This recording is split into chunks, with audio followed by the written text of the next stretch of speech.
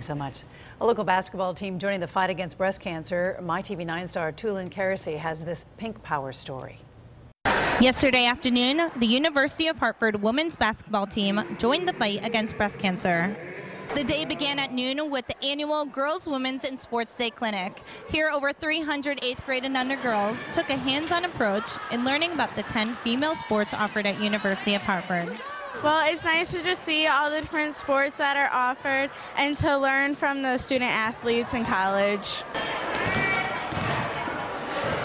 The day then continued with the annual breast cancer awareness game called Paint in the Pink, where the Hartford Hawks took on the Albany Great Danes. Let's go Hartford! $5 from each ticket sale went towards the Connecticut Breast Health Initiative to raise awareness and funds for the fight against breast cancer right there in their own community of Hartford.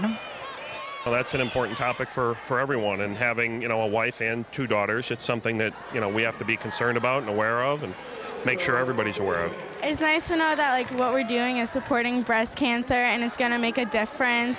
As you can see, the fans, students, and athletes basked in the pink and showed that Pink Power is not only for the month of October, but is a year-round movement.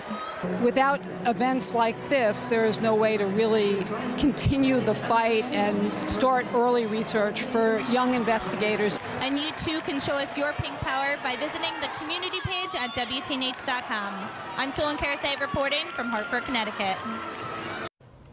All right, here's Noah now to check on your sports. Noah? Well, the UConn